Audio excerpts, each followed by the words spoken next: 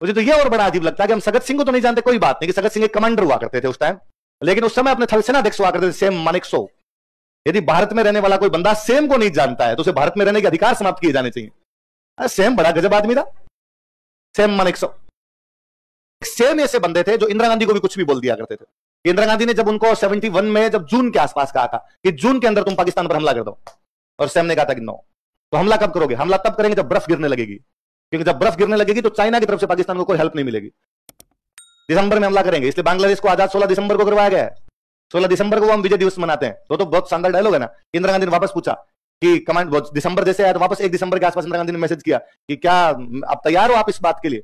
Yes Sweety तो इंदिरा गांधी को स्वीटी कहने वाला यदि कोई बंदा था तो वो बंदे 71 की वॉर के बाद में सेम इतने फ़ेमस थे इतने फ़ेमस थे कि देश में बातें थी कि सेम अब देश पर कब्जा करेंगे।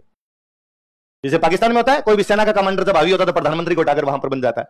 तो इंदिरा गांधी के जब शाम को डिनर का प्रोग्राम था इंडियन आर्मी के जो भी मेजर थे, जो अफसर थे, उनको डिनर के लिए बुलाया गया प्रधानमंत्री कार्यालय के अंदर। तो इंदिरा गांधी ने पूछा कि सैम मैंने सुना है कि तुम तख्ता पलट करोगे।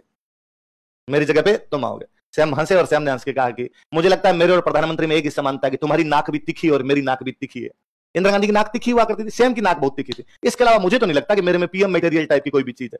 इसलिए आप निश्चिंत रहिए, मैं देशभक्त आदमी हूँ, मैं सैनिक हूँ, और सैनिक कभी भी ऐसा काम नहीं कर सकता। सर्वोच्च आदेश जो कह जाए, सैनिक वहाँ पे